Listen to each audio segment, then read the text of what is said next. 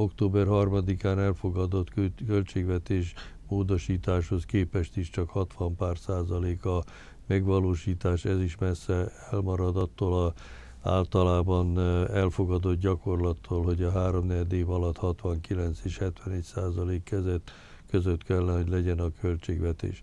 Természetesen több ok vezethetett ehhez. Az egyik az, hogy talán tavaly a megelőző városvezetőség túlságosan optimistán fogta fel a lehetőségeket.